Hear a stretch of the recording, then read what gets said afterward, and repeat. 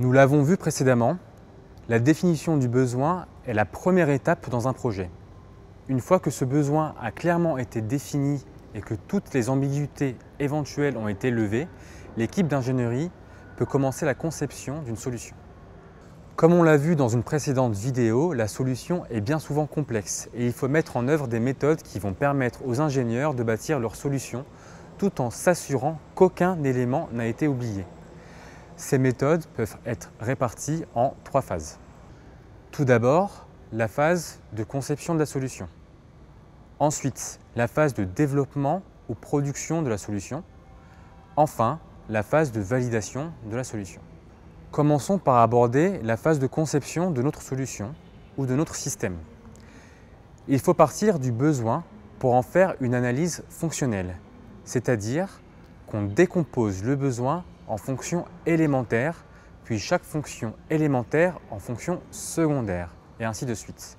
À chaque fonction, on associe les contraintes, ses entrées, c'est-à-dire les éléments qui permettent à la fonction d'être mise en œuvre, comme l'énergie ou une commande d'un mouvement par exemple, ses sorties, c'est-à-dire les résultats de la fonction, les performances attendues, etc. C'est ce qu'on appelle les spécifications. À la fin de cette étape, l'idéal est d'avoir une représentation schématisée du besoin initial. On voit apparaître des blocs de fonctions et de sous-fonctions qui sont imbriqués et reliés les unes par rapport aux autres car les contraintes d'une fonction peuvent être en réalité des entrées d'une autre fonction. Prenons l'exemple d'un robot qui aurait pour fonction de ramasser des objets qui traînent sur le sol d'une salle de classe. La fonction ramasser les objets dépend des résultats de la fonction détecter les objets. La sous-fonction se déplacer peut ensuite avoir les fonctions suivantes. Se déplacer, détecter les objets, ramasser les objets. On peut en voir encore d'autres ce sont les fonctions secondaires ou sous-fonctions. Il existe des relations entre elles. Par exemple, les fonctions se déplacer et ramasser les objets vont avoir besoin d'une source d'énergie, éventuellement de la même. La fonction ramasser les objets dépend des résultats de la fonction détecter les objets. La fonction se déplacer peut ensuite avoir les fonctions suivantes. Par exemple, aller tout droit et tourner.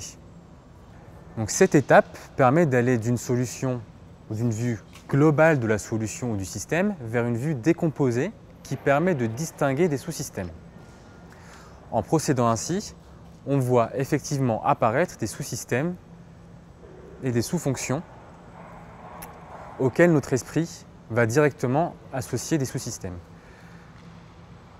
C'est l'étape suivante, celle de la conception à proprement parler. Elle consiste à trouver une solution pour chaque sous-fonction et de construire le système de proche en proche, jusqu'à avoir conçu le système dans toute sa globalité. On a ainsi remplacé le schéma conceptuel du début, avec la fonction ramasser les objets qui sont par terre, par des schémas de conception précis et des caractéristiques connues pour chaque élément et chaque constituant. Ainsi, si on reprend le cas de notre robot ramasseur de papier, nous allons remplir la case Aller tout droit avec un système qui va permettre au robot de réaliser cette fonction. Par exemple, un moteur électrique associé à deux chenilles et des engrenages pour transmettre le mouvement du moteur aux chenilles. Afin de remplir la fonction tourner, nous pouvons ajouter un second moteur avec un système de transmission indépendant au premier et reliant ce moteur à la seconde chenille uniquement. Cela permettra de faire tourner les chenilles dans des sens opposés et ainsi de faire tourner le robot. À la fin de la phase de conception, il est important de confronter le résultat au client et lui permettre de donner son avis. C'est ce qu'on appelle la revue de conception préliminaire ou Preliminary Design Review dans le jargon des ingénieurs. À partir des remarques éventuelles du client, des ajustements sont à faire et une deuxième revue est souvent effectuée c'est la revue de conception critique ou Critical Design Review. Critique dans le sens où cette revue doit absolument être validée pour pouvoir passer à la production ou au développement du système. À la fin de la phase de conception, on est censé avoir une idée très précise du système à réaliser. On est censé avoir choisi chacun des constituants et comment ils doivent être agencés ou câblés les uns aux autres, ainsi que les algorithmes à utiliser pour chaque élément qui contiennent du programme logiciel etc., etc. Tous ces éléments doivent être correctement décrits et serviront à leur tour d'instruction ou de spécification pour la phase suivante. La phase de production est celle durant laquelle la solution est réalisée et devient concrète. On parle aussi souvent de développement, terme plus adapté dès qu'il y a du logiciel. Cette phase est certainement la plus délicate, surtout si le système est complexe, car en général, chaque sous-système a une équipe de développement ou production dédiée. Les ingénieurs ayant mené la phase de conception doivent donc être constamment en contact avec ces équipes. Ils ont de plus une vue globale du système. On les appelle d'ailleurs souvent ingénieurs système et servent d'intermédiaires entre les différentes équipes. Un problème de communication ou de mauvaise compréhension d'une spécification peut mener à des situations compliquées s'il n'est pas détecté au plus tôt. À la fin de la phase de production ou de la phase de développement, on ne peut pas se permettre de livrer le système tel quel sans avoir vérifié au préalable que ce qui a été produit est bien conforme à ce qui était attendu. C'est le but de la phase de validation. En général, cette phase se découpe plutôt en trois étapes. L'intégration, la vérification et la validation. Et parfois même une quatrième étape de qualification s'il faut en plus faire dérouler des tests ou démontrer par des tests que euh, le système est conforme à certains standards ou des normes bien particulières. Dans le jargon de l'ingénierie, on utilise l'acronyme IVV ou IVVQ avec l'étape de qualification. La phase d'intégration consiste à assembler les divers sous-systèmes étape par étape et à effectuer des tests dans le but de montrer qu'ils interagissent correctement les uns avec les autres. La phase de vérification consiste à mettre en place des tests montrant que le système est conforme aux spécifications de la phase de conception.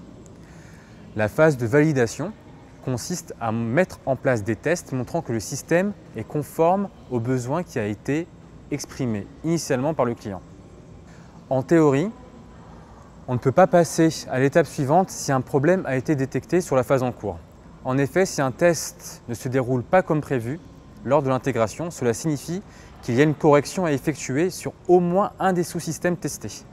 Les ingénieurs IVV doivent alors être en mesure d'identifier le plus précisément possible les symptômes du problème afin d'aider les ingénieurs développeurs d'en identifier la source et de les corriger. En réalité, les problèmes détectés doivent être analysés conjointement avec l'ingénieur système afin de les prioriser. En effet, un problème détecté en phase de vérification peut ne pas être critique, car n'a pas ou très peu d'impact sur le besoin du client. En prenant en compte cet aspect et également le coût et les délais qu'une correction peut engendrer, il faut classer les problèmes du plus important au moins important et les traiter de façon réfléchie. Dans cette vidéo, nous avons vu le cadencement classique d'un projet technique, de l'analyse du besoin à la validation de la solution.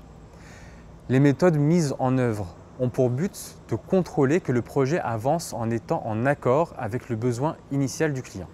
Dans une autre vidéo, on verra cependant qu'il existe des limites à cette méthode et des améliorations possibles.